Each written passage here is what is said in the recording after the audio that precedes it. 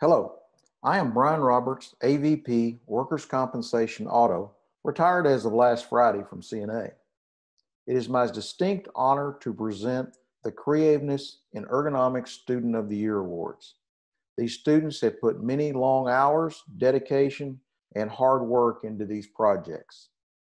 These awards recognize achievement in ergonomics, application, or research, including process improvement, education, applied instrumentation, and product development as submitted for presentation in a poster or oral presentation at the Applied Ergonomic Conference.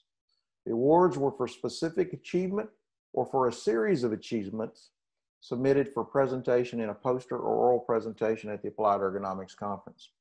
Each student was awarded $1,000 for a total of $4,000. All students who submitted an abstract for an oral presentation, session, or a poster session and were accepted to present at the 2020 Applied Ergonomic Conference were considered for this award. Our first award winner is Ibu Zhu from Texas A&M University. His project was exploring neuroergonomic fit of passive exoskeletons during simulated manual material handling tasks. Our second winner is Tricia Salzar from Texas A&M Health Science Center. Her project was the impact of alternative office workstations on computer usability.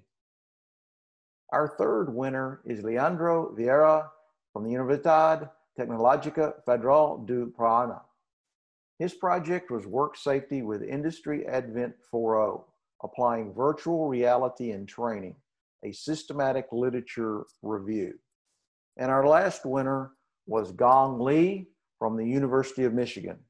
His project was the wearable biosensing to measure site workers' physical fatigue during their ongoing work. Congratulations to all of these students for the hard work on these projects.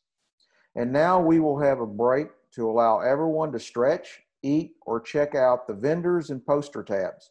Our master track panel will begin in approximately 25 minutes at 3.30 Eastern Time.